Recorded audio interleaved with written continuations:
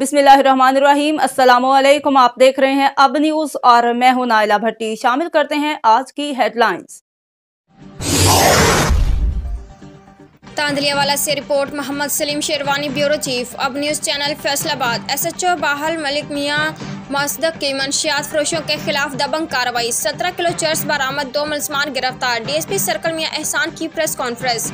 S H O थाना बाहलक मियाँ मसदक रियाज की मनशियत फरोशों के खिलाफ दबंग कार्रवाई। सत्रह किलो चर्च बरामद करके दो मुलजमान गिरफ़्तार कर लिए। D S P circle Mian एहसान ने प्रेस कॉन्फ्रेंस करते हुए कहा कि हमारे पास काफ़ी दिनों से इतलात थी कि एक बैनल ज़िलाई ग्रोह मंशियात की सप्लाई में मुलविस है जिसके लिंक्स पिशावर से हैं।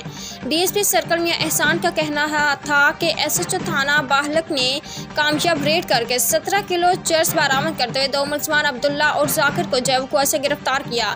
डी एस पी मियाँ एहसान का मजीद कहना था कि मनशत फरोशों के खिलाफ कामयाब क्रैकडाउन पर एस एच ओ बाहलक और उनकी टीम मुबारकबाद के मुस्तक है। मजीद डी एस पी मियाँ एहसान का कहना था कि मनशत फरोशों के खिलाफ क्रैकडाउन जारी रहेगा। माशरे के नासुरों को किसी सूरत माफ़ नहीं करेंगे। Mohammad Salim Sherwani, bureau chief, Ab news channel Faisalabad Tandlianwala.